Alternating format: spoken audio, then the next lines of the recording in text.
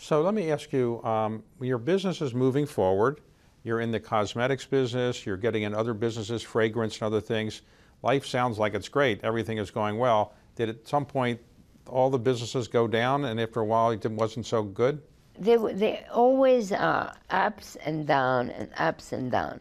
I had the first phase of my life is very much American dream. Okay, I lived a true American dream. Really, I was young, I was inexperienced, and I became very successful.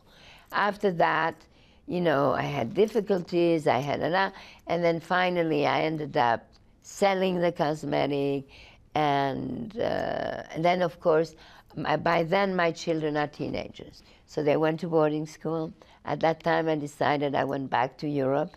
I lived in Paris for a few years, and then I came back here. And then I decided, and then by then, my brand was really wow. It was like bad. It was in discount stores, and everybody had done everything, and that was difficult.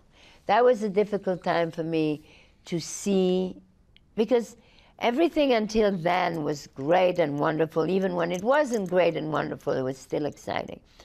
But then uh, coming back, I mean, and seeing the brand and the people who were in charge of the brand, and they didn't care. I mean, there was no spirit. There was no, there was no messaging. There was no nothing. It was that was really difficult. And as a, I don't know if it's as a result of that, but at the same time, I also had a cancer.